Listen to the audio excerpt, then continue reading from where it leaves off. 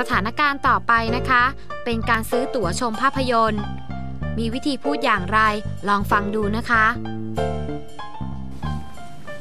I'd like to see the ring. What session? How many tickets? 11 o'clock. Two tickets, please. What seat do you like? I'd take A11 and A12. How much? 240 baht. ทีนี้เรามาฟังกันอีกครั้งหนึ่งนะคะ I'd like to see the ring. อยากจะดูเรื่อง The Ring ค่ะ What session? How many tickets? รอบกี่โมงครับ กี่ใบครับ 11 o'clock. Two tickets, please. รอบ 11 โมงค่ะ 2 ใบค่ะ What seat do you like?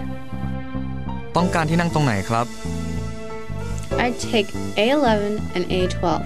How much? เอาเป็นที่ A11 กับ A12 ค่ะ เท่าไหร่คะ 240 baht. 240 บาทครับ ต่อไปมาดูคำศัพท์ที่น่าสนใจในบทนี้กันนะคะ See? ดู Session. รอบ Ticket. ตั๋วบัตร Seat. ที่นั่ง